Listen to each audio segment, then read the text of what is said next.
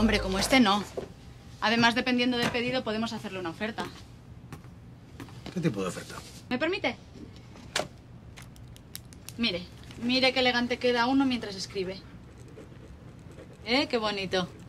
Muy bonito. Se nota enseguida que eres una profesional.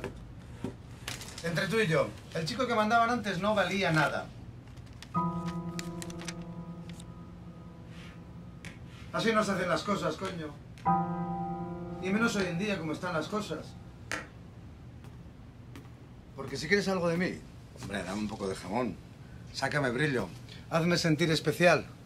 Sobre todo créete lo que vendes. Confía en el producto que me estás vendiendo. Si el producto es bueno, todo va como la seda. ¿Ves? Tú me has convencido a la primera. Porque el producto es bueno. Muy bueno, sí, señor. Ya. Vamos, mujer.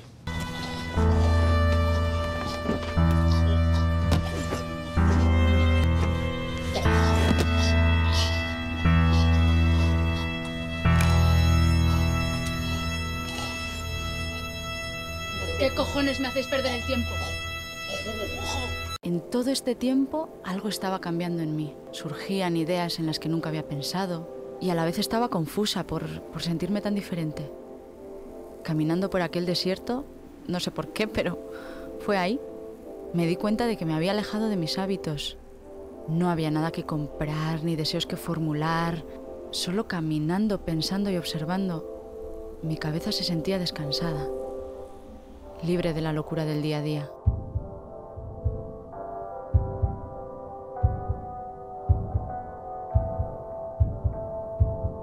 Y como aquel aspirante a Bobby Fischer me anunció, encontré la paz.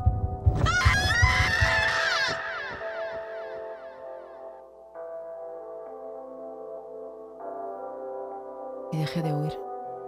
Pero bueno, ¿tú me estás siguiendo o qué? ¿Te acuerdas de mí, no? Estuvimos bailando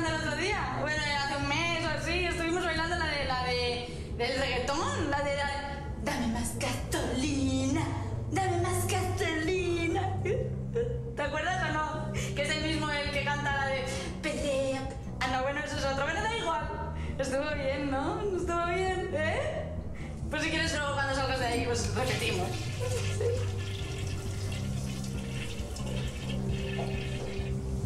¡Eso es un sí! ¿Y qué fue lo último que supieron de su escritor? No mucho. El señor Flamel es un hombre muy celoso de su trabajo.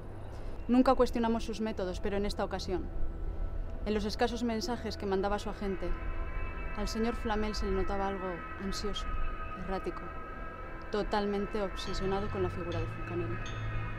A partir de ahí cortó toda comunicación. Vale, mamá. Nos vemos mañana en la comida. La de Nagore, la del cumple.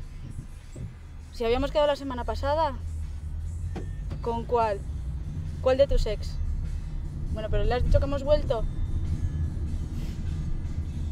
Ella te cuenta su vida y tú no le has dicho. ¿Pero le has dicho que estamos juntos?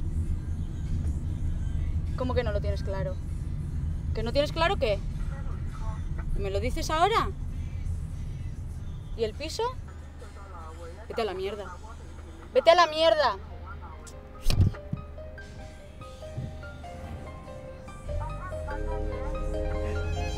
Párame.